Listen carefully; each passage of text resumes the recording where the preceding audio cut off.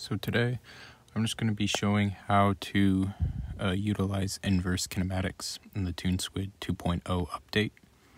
Uh, I recently drew a stick man and uh, utilized some of the bones and made him do a little flip.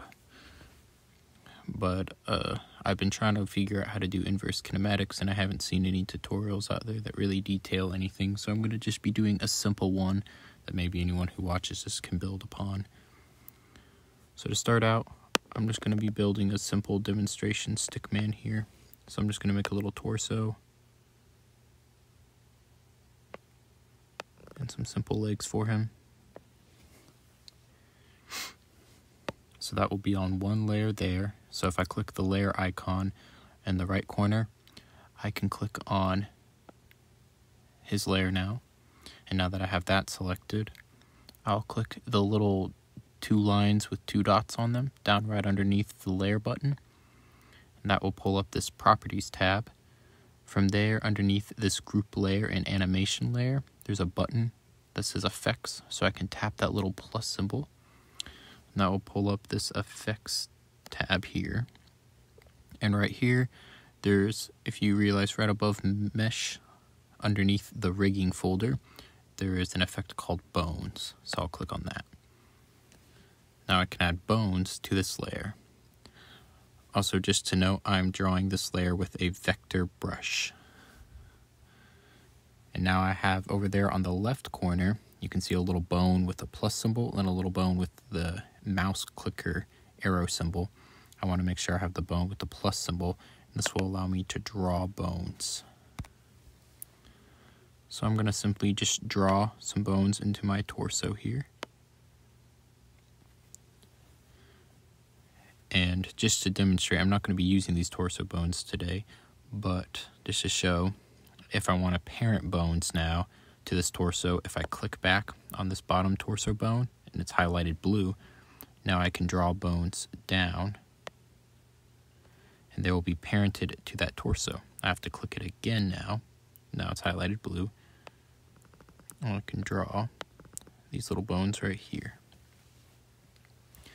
And now those are my leg bones and they're parented.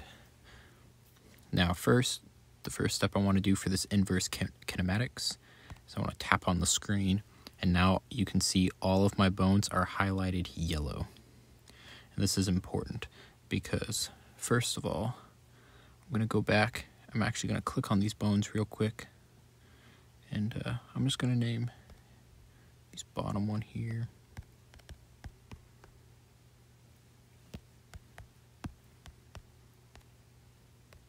Then if I click on the other bone, I can tap this name portion over there.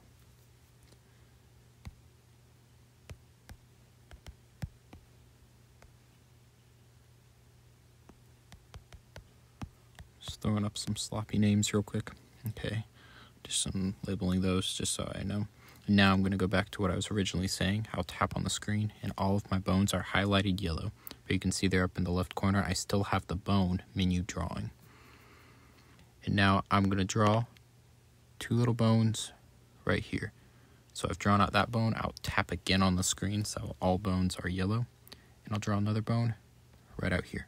Tap again on the screen. By drawing these bones separately while all bones are highlighted yellow, they will appear separate on my bone hierarchy. They are this B7 and B8, I believe, and they're not attached to any bones. That's important with inverse kinematics. The bone that's going to be your IK target, which is what these bones will serve for. And basically, that's the bone that the other bones uh, kind of obey. I don't exactly fully understand it, but they just must be separate from the rest of your bone hierarchy. They cannot be attached to the other bone layers. So now I'm just going to simply go back and I'm just going to name those. Left, IK, and right, IK. Okay, now that I've done that, that's the first important step done. And now what I can simply do, just hit later there, now I'm going to select the little left uh, bone with the little mouse clicker, or the transform bones option as it's officially called. And first of all, I want to make sure now this IK target bone that I have highlighted in blue on the left there. Something important you want to do is you want to turn down the strength to zero. And do the same with the other bone. This is going to basically make sure that these bones have no effect on the other layers. So for instance, if I move it around, you can see that the black stick man, he won't be moving around at all. But if I move this bone, you can see its strength is 1 up there in the top right. So he has power over the stick man. So now, what I'm going to do is simply click on this bottom right leg. And when doing inverse kinematics, you want to make sure you click the bottom or most end bone in that layer. And so in that case, it's going to be this bone. It wouldn't be this bone because he's still up top and there's still another bone after him. So it will be this bone. And then I'll simply go over here and click this IK target. And right now it says none.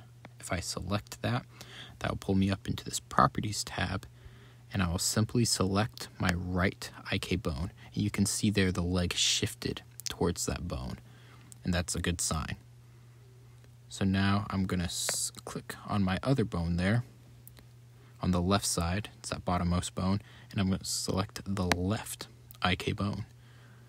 Now, if I move around this, you can see the legs will bend where those bones are at. And they kind of move towards them as I move the target around. And that's inverse kinematics. And I believe that is simply how uh, inverse kinematics can kind of work there. Also, if you just pick this bone, you can actually move your leg around just by moving that bone. Or again, you can move your stickman around and it will bend at the joints in the bones there where the IK bones are. Also, to be able to do this little bone moving around option, you have to select a bone and you have to make sure this disable or position editing option. So if I click that, now I don't have that option. But if I click enable position editing, now I can move around my whole bone. And as you can imagine, you could do this with arms following the same tutorial, or you could even make more complex figures and have them kind of conform to wherever you have IK bones at. Or you could even puppeteer them and have him move around his stuff with a bone up here without having to actually fully move it around. And I could get him to bend his arm like that without having to individually twist each bone as if I did, well, I can't do it here, but yeah, something weird like that. Anyway, that is my tutorial for inverse kinematics. Thank you for watching.